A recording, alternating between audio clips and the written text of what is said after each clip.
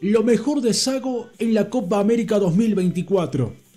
La participación de la selección nacional en este torneo en particular es realmente desastrosa. Pero hay ciertos aspectos positivos de Sago, sobre todo en la elección de los jugadores para ponerlos de titular y para dejarlos afuera también. El principal punto y más destacado creo yo, que es el primer paso que había que dar y había que animarse y dejar de demostrar ser un director técnico cagón, era dejarlo afuera a Adrián Jusino. Y eso hizo Sago. Lo banqueó prácticamente en los dos primeros partidos de la selección frente a Estados Unidos y Uruguay. Más allá del resultado.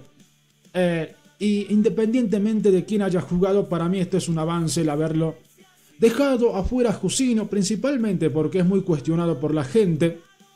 Y segundo, porque no te rinde y nada te va a cambiar en el fondo. ¿eh? Entonces está bárbaro que lo haya dejado afuera, que lo haya banqueado. Y ahora ojalá que no lo convoque más a la selección, porque ya está. Ya estamos con los jugadores grandes. Otro aspecto destacado que se dio en el partido contra Uruguay es el debut en la selección de Alalita Razas, más allá que lo metió ya en los últimos minutos. El partido estaba fulminado, Bolivia no tenía nada que hacer ya en el encuentro.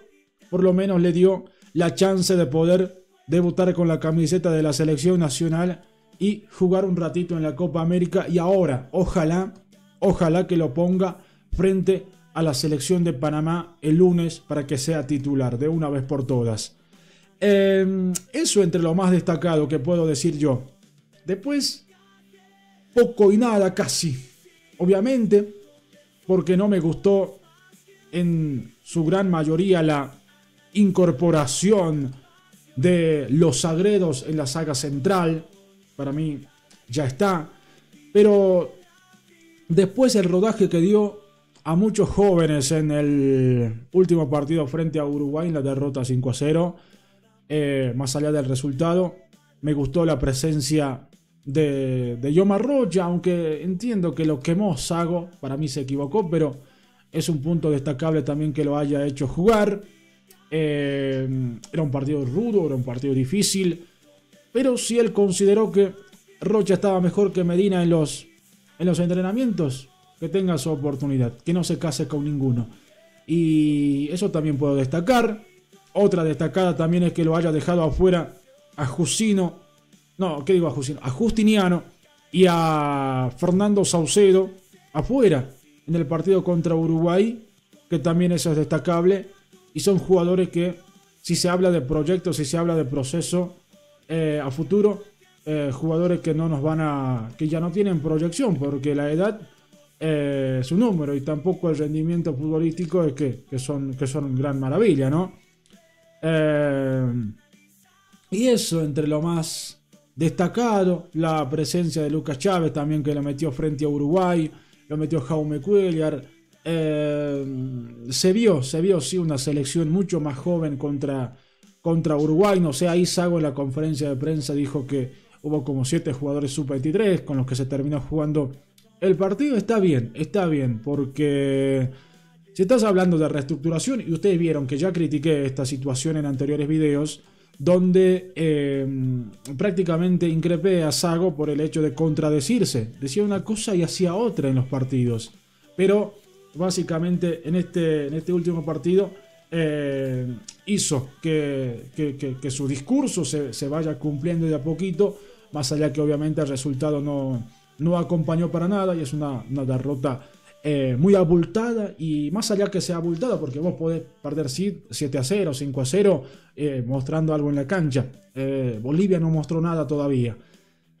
pero, pero como digo, hay que, hay que destacar estos ciertos aspectos positivos en una Copa América que sabemos la, la, competencia que hay, sabemos lo difíciles que son las otras selecciones, ni hablar de enfrentar a Uruguay, eh, pero esas, esas cositas, esos mínimos detalles son los que, los que yo puedo destacar, no sé. Eh, para no ser todo el tiempo negativo, negativo, negativo, que también cansa un poco. pero, pero es lo, negativo es la realidad. Lo positivo es lo que estoy tratando de buscar en este video.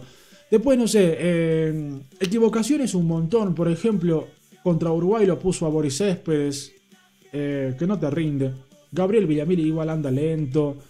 Eh, para mí tendría que haber jugado Robson Mateus, sí, porque es, es, proyección.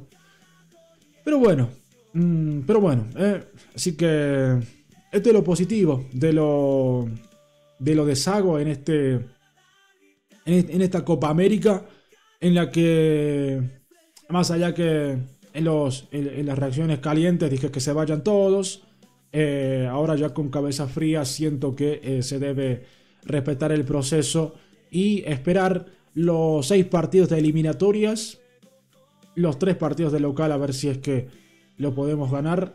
Son partidos difíciles. Está Venezuela, eh, Colombia y Paraguay de local a fin de año. Así que eh, hay, hay contenido para, seguir haciendo aquí en el canal. Por eso los invito a que se suscriban, a que le dejen me gusta y eh, me pongan en la caja de comentarios otros aspectos positivos que podemos destacar de, de, Sago en esta Copa América. Yo sé que de negativo hay un montón, de negativo hay un montón demostró ser eh, muy cagón, como dije también en la reacción caliente.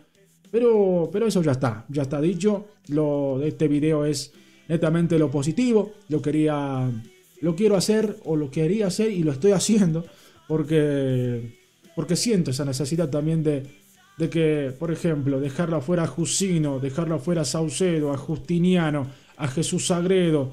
Eh, eh, suma, suma, suma para, para, que no se contradiga tanto y, pese al resultado, porque yo entiendo que aunque hayan estado Justiniano y Saucedo, quizás el resultado iba a ser el mismo o peor y, le, íbamos a caer más con razón a Sago porque son jugadores ya fulminados. Eh, pero eso, gente, ¿eh? así que así que eso, intenté sacar unos mínimos aspectos positivos, obviamente, superficiales. Después puede, pueden haber más. Eh, aunque yo no, no, destaco más. Quizás la, apuesta por, por Héctor Cuellar, eh, que es otro de los aspectos positivos también, claro, me estoy olvidando. El hecho de ponerlo frente a Uruguay como zaguero central y sacarlo prácticamente a Jesús Sagredo ha sido una buena eh, opción y, respondió Héctor Cuellar que ojalá que siga en ese nivel y que de a poco empiece a afianzarse en la selección boliviana de fútbol, porque la verdad que le hizo bastante bien Héctor Cuellar frente a la selección uruguaya. Eh, les mando un gran abrazo, gente. Suscríbanse, ya les dije, pongan abajito lo, positivo de, de, Sago en la Copa América.